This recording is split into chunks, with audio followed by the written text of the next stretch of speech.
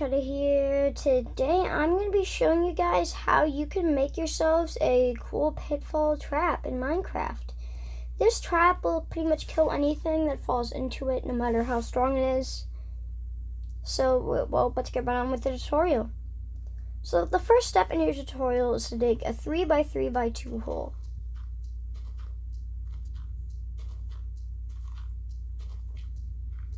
Hmm. Says now this should should be what it looks like. Then what you're gonna do is you're gonna dig this hole and you're gonna type in this this slash give at e well actually at p com ignore that sorry. Alright now now that you got yourself a command block, as you can see, we're not gonna be using that anyway. So next what we're gonna be doing is we're gonna be getting ourselves some slabs because those are gonna be very important. So you're just gonna dig this out, put some slabs here. This this is not unnecessary. You don't have to do use slabs. You can use normal blocks if you want, but I recommend using slabs. Now what you're gonna do is you're gonna get yourself some armor stands. Then you're gonna get yourself any sword you want. I like I'm gonna prefer iron. Then you're gonna place armor stands facing inwards from all direction. Alright. Then you're gonna go hold shift and you're gonna do this. One, two, three, four, five, six, seven, eight, nine. Until you get into this position. They should be in that position and you're gonna do that for all of them. One, two, three, four, five, six, seven, eight, nine. One, two, three, four, five, six, seven, eight, nine. Ten. One, two, sorry.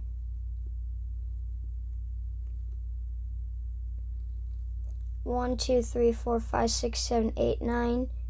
One, two,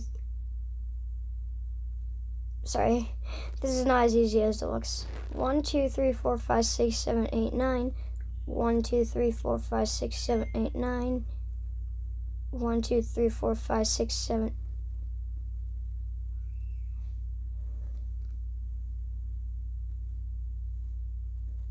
And okay, so now go to this final one. Okay, I just broke that in cow. Get out of here. I don't want you here right now. One, two, three, four, five, six, seven, eight, nine. And we're going to do this one facing that way. One, two, three, four, five, six, seven, eight, nine. Then you're going to clip all these guys with your swords.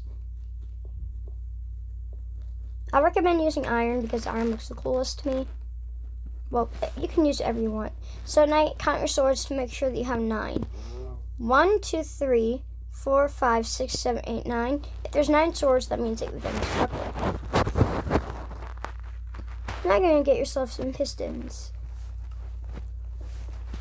Place two blocks up and place a piston facing downwards. Then place a piston above all these blocks, just like this. Once you have done this, break a hole so you can get out after. Then place slabs on each of these blocks. I recommend using these slabs because they look the best. Yes, they have to be slabs. And now get yourself a lever. Now place these levers and flip and flip them. After this, you can just break these pistons because we don't need them anymore. Pick up your levers. Once you have this, you should be left with this little cool thing right here. Now we're going to be using our command block. You're going to go down here, and you're going to go down, and you're going to dig two blocks and place your command block right here. You're going to set to repeat, always active. Now I'm going to type in this command. Effect at E tilde, I mean, it's bracket, type equals this thing, armor stand. This will make it so it is not going to affect the armor stand. Dash R equals 4 this is making it so it will only affect anything in, um, in a radius of 4, instant damage, and then that's the command. So if you know it's working, you should see this little particle effect around your player. Now, you're to do this. You're to put uh, do this with dirt, and you can decorate this however much you want. So, I'm just to decorate it real quick with some stone. Actually, no, stone sucks. Some bricks. We're to break this, and we're gonna, just to decorate this. So basically, you could add this on like the bottom of a pitfall trap or something, or you could just make a player drop into this, and this will kill the player most likely faster than they could get out. This will kill the player even if they are wearing good armor. So if I if I get myself some armor right here, netherite armor, and I'm gonna pause so I can enchant this with protection four. Alright, I got myself the protection four armor. We're gonna put this on. I'm gonna type in the command. Uh, we're gonna type in this command slash game rule keep inventory true, and also we're gonna do this command slash game command block out put false. This will this the, what this will do is um basically make it so those uh, annoying messages will not appear in your chat. So the commands will still work, they just won't show. So now what you can do is you can go into survival. I'm wearing full protection 4 netherite, as you can see here. Protection 4, protection 4, protection 4, protection 4. So if I jump in here, as you can see, it he's doing one heart of damage even with protection 4, you do have time to escape even if you do, as you can see. Let's get go back up to our trap, which is over here. This trap will work on any uh, on any mob, most likely, even even the new mob, the um, warden.